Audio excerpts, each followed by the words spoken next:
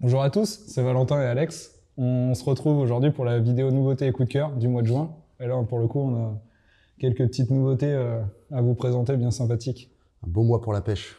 commençons tout de suite euh, par euh, une marque bien connue des pêcheurs à la mouche qui entre à notre gamme.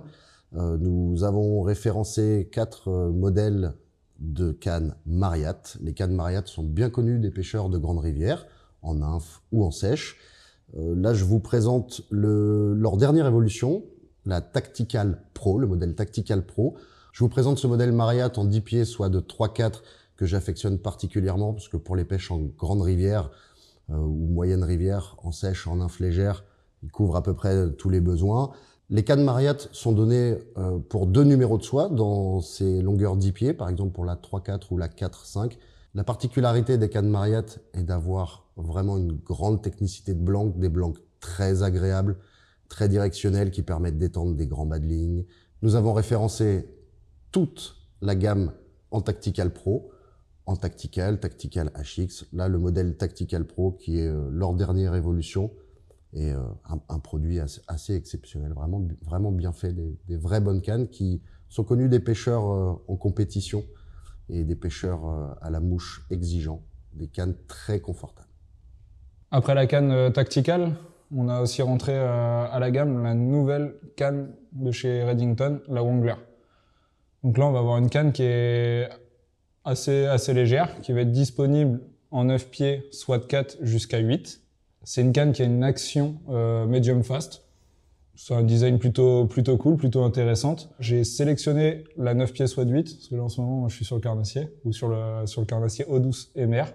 Ce qu'il faut savoir sur la canne Wangler, c'est qu'elle est disponible aussi en kit prêt à pêcher, donc avec un moulinet, une soie, un backing et un badling. Donc là, Pareil, on va retrouver toute la gamme en 9 pieds et les numéros de soie correspondants de 4 à 8. Il y a aussi une canne mais qui n'existe pas en kit prêt à pêcher, c'est la 10 pieds soie de 7 pour les pêches en réservoir principalement. Donc voici la nouveauté de chez Reddington avec un, look plutôt cool. Moi, je, je, trouve vraiment sympa cette canne. moi aussi, j'aime bien le, le, gris. Puis on a toujours dans les prêts à pêcher l'ensemble vraiment où il n'y a plus qu'à accrocher une mouche qui est bien fait. Et ça conviendra parfaitement à un pêcheur débutant comme quelqu'un d'expérimenté. Dans les nouveautés Reddington, on a aussi l'arrivée d'un nouveau kit prêt à pêcher, donc le kit original que Alex va vous présenter. Là, euh, ça se compose simplement en deux modèles. Là, on vous l'a sorti de son fourreau pour que vous puissiez voir l'ensemble. euh, c'est une canne aussi qui s'adresse aux débutants. Pour vous faciliter la vie, il y a deux modèles. Donc les deux kits Reddington Original, vous avez une 9 pieds soit de 5, une 9 pieds soit de 8. À chaque fois, euh, la canne est équipée du moulinet Crosswater dans sa quatrième version. Euh, vous retrouvez évidemment des soies Rio mainstream de qualité dessus, un très bon ensemble pour vous équiper pour euh, un voyage ou débuter la pêche à la mouche. Et comme vous l'a dit Alex, les deux kits, que ce soit le Wangler et l'original, sont équipés du moulinet Crosswater 4, donc la quatrième génération de Crosswater. Donc c'est le petit moulinet compact, mais très bien pensé par, euh, par Eddington. Donc on va avoir un moulinet en composite avec un frein à disque en carbone. toi Alex, je sais que tu en utilises. Ouais, Moi j'en utilise dans l'ancienne version. Donc celui-là, elle a été euh, clairement euh, amélioré et au côté robustesse, on a encore, on a encore passé un cap. Et puis on peut l'utiliser, on le fait tous les deux, on peut l'utiliser en eau douce comme en mer. Euh, le frein est très bien protégé. Euh, vous avez une profondeur de bobine qui a été augmentée sur la quatrième version. Là, donc vous pouvez même mettre beaucoup de backing si le besoin s'en fait sentir. Et la robustesse générale de l'ensemble a été euh, revue aussi. Le frein est vraiment supérieur. T'as trouvé toi aussi? Ouais. Crosswater, toujours euh, positionné en plus dans les mêmes gammes. Le moulinet Crosswater, soit en version 4, 5, 6, soit en version 7, 8, 9. On vous avait déjà, euh, lors d'une précédente vidéo, proposé euh, et présenté les Universal Systems, le nouveau système de boîte de CF Design. Là, pour répondre à hum, des questions euh, une bonne réflexion qui m'a été faite par un, pêcheur de réservoir, on vous présente également le chest pack. Alors ça, je suis aussi content de le présenter avec toi puis de le voir. On a été tous les deux assez convaincus par le, par le produit. Euh, tout simplement, il s'agit, lorsque vous voulez partir avec l'essentiel de votre matériel, d'avoir un chest pack léger, pratique dans lequel vous pouvez intégrer l'essentiel pour un coup du soir, une journée en réservoir, une petite pêche en rivière. Ce n'est pas une solution pour avoir tout votre matériel avec vous, mais par contre, lorsque vous pouvez réduire le matériel à l'essentiel, vous avez déjà beaucoup de possibilités. Euh, tu vas voir que ça correspond tout à fait à ce qu'on recherche. Euh, donc, Chesspack CF Design, tu te retrouves avec de quoi intégrer tes mouches en extérieur. Un compartiment principal avec un feuillet fixe, des petites boîtes dans lesquelles tu peux mettre des nymphes, euh, autres petits matériels qui ferment. Des passe-fils, ça c'est pratique aussi pour passer les mouches. Une petite zone pour euh, ta sélection préférée. Et bien évidemment, puisqu'il s'agit du Universal System, eh oui, tu peux enlever les feuillets, ajouter les feuillets que tu veux, c'est-à-dire soit en midge, soit en streamer, soit en classique, soit en attractor. Les intégrer dans ta mallette si tu le souhaites, ou avoir aussi en parallèle ta boîte. C'est assez bien pensé parce que tu peux avoir ça directement pour travailler. Euh, c'est ça que j'aime euh, beaucoup. Bah oui, ça c'est vraiment bien pensé, c'est pratique. Euh, tu changes les feuillets absolument comme tu veux. Et il y a un système au dos qui te permet d'intégrer des bobines de fil avec un petit système de passage pour que le nylon soit en extérieur et que tu et qu'on puisse piocher et que tu puisses piocher absolument ce que tu, absolument ce que tu veux. Et euh, bah, évidemment, dans toujours, euh, toujours pareil, dans la qualité CF Design, ils ont même pensé à l'espace pour intégrer l'aiguille, propre à CF, que tu connais bien. Et puis, euh, pour ceux qui voudraient faire un petit peu de marche, tu as même un système pour l'accrocher directement à ta chemise ou à la ceinture du, du, du, du gilet de wading pour pas que ça pour, pas que ça, ça, ça, se balade. pour pas que ça se balade. Ce que je trouve intéressant c'est qu'on a aussi les les petites parties pour accrocher des accessoires coupe-fil l'hydrophobe on peut, on peut vraiment tout mettre, sa paire de ciseaux ou sa pince à clampe. C'est même muni d'un système pour venir couper ton fil toi-même, si par, si par hasard tu n'aurais pas ton coupe-fil avec toi, pour tes trois bobines. Et euh, bien évidemment... Alors ça, c'est ce que je vais trouver vraiment super bien. Pour un chest pack, ils L'accroche ont pensé... Voilà. Ça, c'est... C'est complet. C'est un détail, mais c'est un détail qui rend, qui rend le produit parfaitement complet. C'est hyper léger. Euh, ça flotte ça flotte. T'as pas besoin de planter tes mouches euh, directement dans la mousse de bonne qualité puisque tu as ça pour euh, la sélection qui te sert sur le moment. je pense que ça vient parfaitement compléter l'ensemble Universal System. Alors pour ce mois de juin, euh, on a aussi eu une nouveauté chez Enrico Puglisi. tous les monteurs de, de mouches connaissent cette référence. Donc Enrico propose des fibres synthétiques, donc ce qu'on appelle l'EP donc euh, l'Enrico Puglisi Fiber. Euh, sauf que là, on a étoffé toute cette gamme avec les nouveautés EP. Donc là, on vous présente ce mois-ci la Game Change Blend Fiber. Donc à la base, c'est euh, une fibre qu'on va utiliser pour faire des brushes, pour faire des corps de streamer. Nous, on l'a aimé avec Alex parce que c'est une fibre qui va bien se tenir en place, qui est légère qui va vite se dégorger de son eau euh, quand on va relever la mouche et qu'on va vouloir la relancer. Donc c'est des mouches qui vont être toujours légères, même si on y met un peu de volume. Et donc nous, on l'a, euh, on l'a appliqué de façon euh, très très classique en superposant les mèches. Donc Alex a fait un magnifique bedfish avec un Magic Head en tête. Donc là, on a une, euh, une, mouche plus pour, pour la mer, Alex? Ouais, pour la mer, comme tu dis, avec l'avantage de ces fibres qui se déchargent très rapidement d'eau qui sont plus synthétiques que l'EP. Euh, le, enfin, l'EP Fiber classique, c'est un petit peu plus synthétique et puis c'est mélangé de brillant qui apporte euh, vraiment euh, beaucoup de beaucoup d'attractivité. Euh, la perche qui est là, qui n'est pas moins magnifique, euh, et, franchement, enfin, on voit bien que c'est un modèle qui va très bien nager, qui va être solide, qui va résister aux dents. Bon, le fait que tu l'aies monté sur hameçon inversé, je trouve ça, euh, je trouve ça vraiment très intéressant. Les fibres viennent bien couvrir l'hameçon. On voit qu'on a la possibilité de faire un, bon usage de cette fibre qui au départ n'est pas faite pour être mise en mèche. C'est ouais, vraiment un produit très très intéressant. Et ce qu'il faut savoir, c'est que c'est une fibre UV. Et en plus de ça, renforcée euh, avec de nombreuses fibres euh, type flash à bout très fines dedans. Donc ça pourrait même être utilisé presque comme un dubbing pour finir la tête de très très gros streamers. Donc voici l'Enrico Game Change Blend Fiber. Pour ce mois de juin, on continue sur les nouveautés. Euh, là, on vient de recevoir la Rolls des chaussures de wedding, la G4 Pro Power Lock. Euh, quand on les a reçus avec Alex, on été euh, un peu subjugués. On est impressionné de cette qualité de finition sur une chaussure de wedding.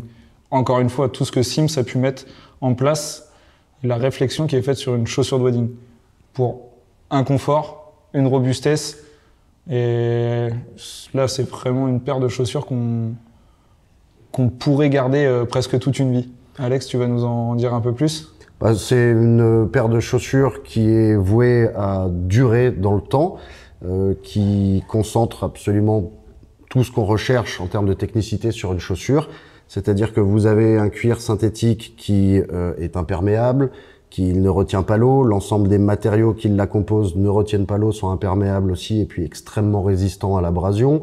On retrouve bien évidemment le Vibram Hydrogrip de qualité chez Sims. Les qualités de chaussures Sims ne sont plus à, prouver, mais là l'ensemble a été encore renforcé. Euh, le système Powerlock, euh, qui est propre à la, à la semelle, est une nouveauté. Euh, vous pouvez intégrer, euh, donc laisser les clous euh, qui sont en TPU, en, thermoplastique, sous la chaussure. Donc vous avez l'avantage du Vibram plus euh, le clou qui va vous apporter de l'adhérence. Et pour pouvoir, euh, Powerlock, c'est leur système. Donc à, à l'aide d'une clé, avec, si vous voulez, une clé différente pour chaque clou, vous pouvez laisser des clous directement en plastique sous la chaussure ou intégrer des clous euh, en aluminium qui euh, bah, vous permettent d'avoir une chaussure absolument complète. Au lieu d'avoir deux paires de chaussures ou des clous qui sont compliqués à enlever, là vous faites absolument ce que vous voulez pour vous adapter à tous les terrains.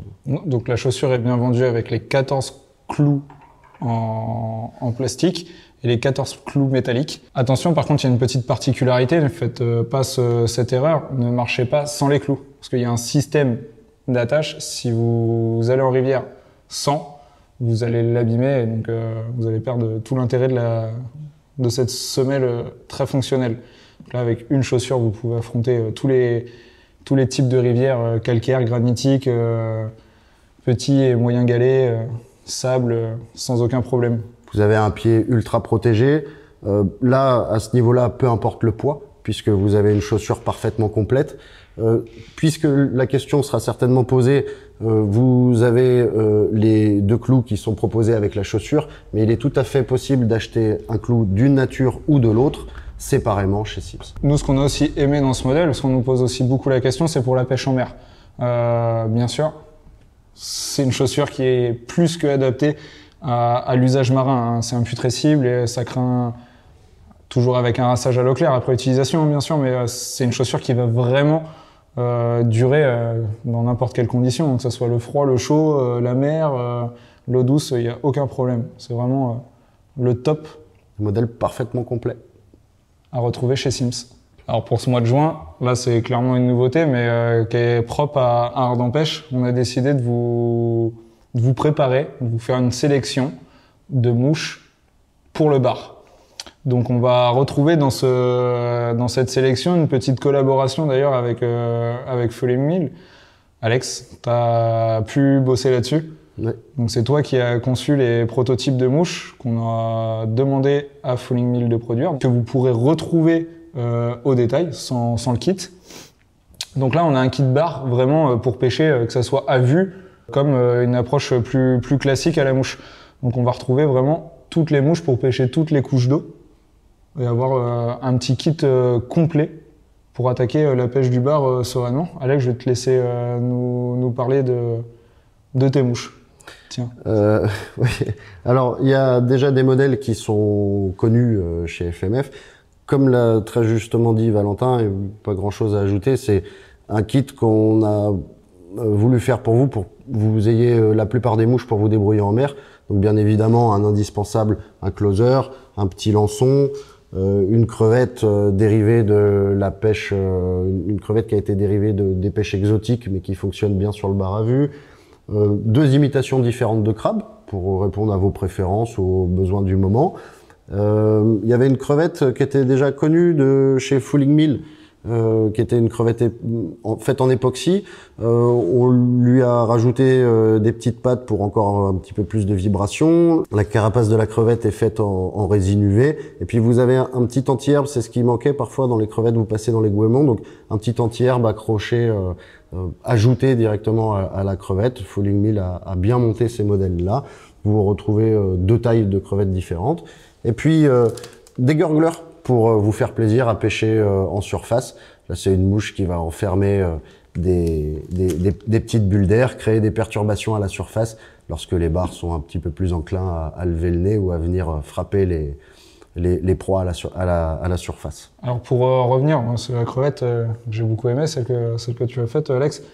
pour, pour les monteurs, parce qu'on sait qu'on a aussi beaucoup de questions sur le montage, je vous invite à aller sur notre chaîne YouTube et vous pouvez regarder la vidéo de Franck Ripo sur le montage d'une crevette euh, ultra réaliste pour la pêche du bar à vue.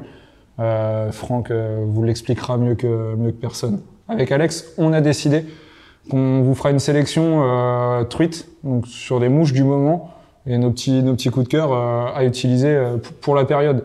Donc là, pour ce mois de juin, on a, on a fait une petite sélection de, de 5 mouches qui vont vous permettre d'aborder tranquillement euh, cette pêche la saison et puis pour avoir euh, les mouches euh, un petit peu indispensables ou qui en tout cas nous nous paraissent indispensables pour le mois de juin. Vas-y Valentin, je t'en prie, tu peux choisir une qui, avec laquelle tu as eu des résultats ou qui te plaît? Alors ça c'est la, la SBN, la Steelback Nymph. Alors moi personnellement je connais très bien Alan le, le monteur. c'est une mouche qui m'a sorti de nombreuses galères, surtout en pleine journée. Au mois de juin et juillet, euh, quand la lumière monte et que vous vous rendez euh, sur l'eau en plein milieu de journée, euh, une petite nymphe lestée comme ça, avec une présentation type jig, coller les bordures, aller chercher les poissons qui peuvent être calés et vraiment difficile, c'est vraiment la nymphe qu'il faut. Moi, j'ai tendance à pêcher euh, très souvent en parachute. J'aime bien le confort de ces mouches-là. Euh, là, c'est un parachute dérivé des mouches américaines, un parachute de chez Rio, euh, qui imite une olive, plus connue sous la BWO, mais ça imite une, une, une une petite olive que vous pouvez retrouver sur la plupart des rivières, à peu près partout dans le monde. Le parachute a été fait en ailes séparées. C'est un petit clin d'œil à la manière de monter de l'Evolf. Euh, chez Rio, c'est bien monté, c'est propre et ça pêche. Pour attaquer sereinement ces coups du matin ou ces coups du soir, on sait tout au long de la, de la saison de pêche à la truite qu'on va avoir des sedges. Moi, quand je démarre le matin ou quand je termine le soir, il est clair et net que j'ai toujours euh, un sedge à portée de main. Celui-là, c'est un petit sedge qu'on appelle le tricobiche, euh, avec un petit tag orange. Donc au final, qui va être très voyant par faible luminosité. Ça, c'est un aimant à truite, hein, clairement je pense pas euh, avoir manqué beaucoup de poissons avec ce genre de mouche le matin ou le soir. Même si vous avez des poissons qui sont pas encore en phase d'activité, c'est vraiment ce qu'il faut passer. Et voilà, ça, je sais que Alex, toi, t'en as dans tes boîtes. J'en ai énormément dans mes boîtes. Ça imite, euh, ce qui est bien, c'est que ça imite la plupart des, la plupart des familles de trichoptères. Sans être purement imitatif, vous avez une bouche qui crée un, une belle empreinte à la surface, un bon ensemble. C'est à utiliser sur des, soit pour pêcher l'eau, soit à utiliser sur des poissons euh, sélectifs. Je suis absolument comme Valentin sur le sujet, complètement convaincu par ce, ce modèle. On est au mois de juin. Euh, je vais quand même vous présenter une mouche de mai parce que bien souvent, elle ne s'arrête pas euh, d'éclore ou de retomber sur la rivière au 31 mai. Euh, donc on se retrouve euh, souvent avec des danicas sur la rivière encore à cette période-là aussi avec euh, des poissons qui peuvent être euh, sélectifs et qui ne les prennent qu'à un stade. Euh, là, c'est le para mai de chez Abbeyfly. Euh, un vrai beau parachute de mai avec le corps qui va être immergé. C'est très visible. Ça, ça imite l'insecte à la frontière entre le stade subimago et le moment où il peut s'envoler une fois adulte. C'est une collerette qui est faite en fibre, en poil, et non pas en coque. Donc même si le volume est important, ça vrille pas les pointes de bas de ligne et c'est très efficace que vous pêchiez l'eau là encore ou sur le gobage. Alors, je sais que toi Alex, aimes bien faire quelque chose aussi sur le genre de grosse mouche euh, para, c'est venir euh, y ajouter une, une petite nymphe en dessous ou une toute petite émergente. Oui, j'aime bien faire ça quand on ne sait pas tout à fait à quel stade les poissons euh, viennent chercher les insectes. Euh, ça vous permet de décider des poissons euh, récalcitrants. De, trouver, de, trouver la pêche un peu plus rapidement aussi certaines fois. Donc euh, non, c'est vraiment la mouche parfaite pour ça. Et puis Valentin, tu, on finit par une mouche qui t'a apporté, je crois, aussi des beaux résultats Tout à fait. Donc là, c'est une, une, petite peute de Igor et Nadika Stanchev. Donc ce genre de petite mouche noyée pareil, en pleine journée, par des journées, euh, on le sait, au mois de juin, l'année dernière, on a eu des gros coups de chaleur, beaucoup de luminosité. Petite noyée passée en bordure sur les heures de midi, c'est souvent ce qui va, en tout cas pour moi, c'est ce qui m'a permis de, déclencher quelques poissons qui peuvent être euh, presque inactifs ou, ou qui sont pas vraiment en phase d'alimentation. Donc ce genre de, petits, de petites putes brillantes, donc qui vont bien rendre euh, avec le soleil, c'est vraiment super intéressant. Tu peux l'utiliser en sèche une fois graissé aussi. Tout à fait. Si vous avez d'un seul coup un poisson gober, un petit coup d'aquel par-dessus et, et ça flotte très très bien. Merci d'avoir suivi cette vidéo du mois de juin. Nous vous invitons à poser vos questions en commentaire sous la vidéo, par téléphone, par mail, via les réseaux sociaux ou évidemment nous rendre visite au magasin à Pontivy. On vous donne rendez-vous pour la vidéo du mois de juillet le mois prochain. Merci à vous. À bientôt. À bientôt.